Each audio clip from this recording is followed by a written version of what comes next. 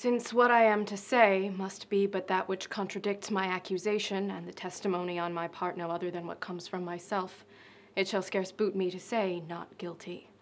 Mine integrity, being counted falsehood, shall, as I express it, be so received.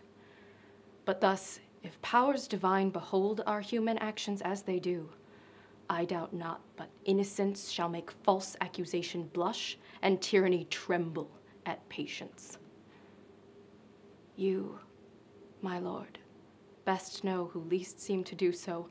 My past life hath been as continent, as chaste, as true as I am now unhappy, which is more than history can pattern, though devised and played to take spectators. For behold me, a fellow of the royal bed which owe a moiety of the throne, a great king's daughter, mother to a hopeful prince here standing to prate and talk for life and honor for who please to come and hear. For life, I prize it as I weigh grief, which I would spare. For honor, tis a derivative from me to mine, and only that I stand for.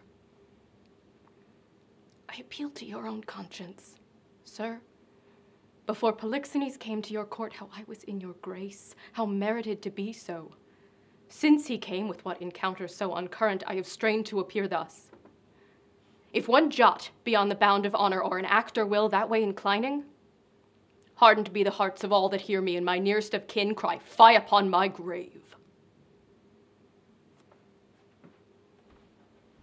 Upload your own monologue at thedigitalstage.org.